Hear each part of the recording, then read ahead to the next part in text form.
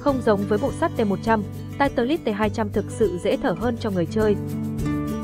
Đánh giá chung về bộ gậy Titleist T200 có thể khẳng định rằng T-Series là một trong những dòng gậy thành công bậc nhất của nhà Titleist. Ít người chơi biết được dòng gậy này đã được thai nghén từ những năm 2010, 2011. Nhưng phải cho đến năm 2012, Titleist mới chính thức ra mắt phiên bản T-Series. Nhưng để làm nên một dấu ấn khác biệt thì phải kể đến T200. Ba yếu tố cơ bản của một bộ gậy sắt tốt đó là khoảng cách, đường bóng, góc tiếp đất.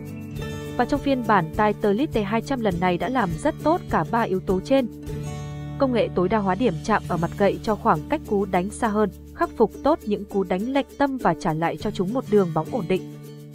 Các bộ gậy Titleist thường được đánh giá là khó chơi và chỉ dành cho những tay gốc chuyên nghiệp. Tuy nhiên, tới phiên bản Titleist T200 2019 này thì dường như đã dễ thở hơn cho các golfer. Công nghệ tối đa điểm chạm trên mặt gậy Titleist T200 cho phép truyền được tốc độ tối đa vào bóng, dù điểm vào bóng có ở bất cứ vị trí nào trên mặt gậy, phần lõi gậy được cấu tạo từ vật liệu polymer mới.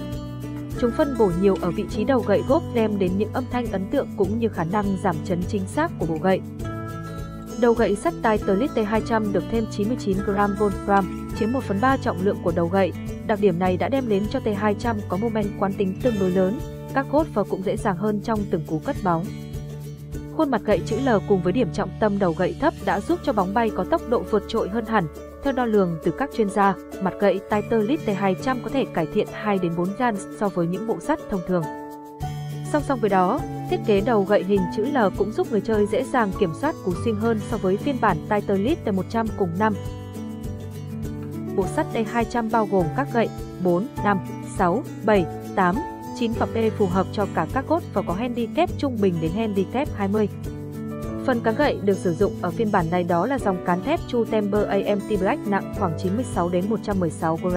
Các cốt và có thể lực trung bình nên sử dụng dòng cán carbon Tensei Blue AM2 nặng khoảng 74 đến 88 g để dễ dàng xuyên hơn. Các cốt phở đang xem video đánh giá thiết kế và công nghệ của bộ sắt Titleist T200 trên kênh của Skygolf. Đừng quên nhấn theo dõi kênh để xem thêm rất nhiều những video thú vị khác.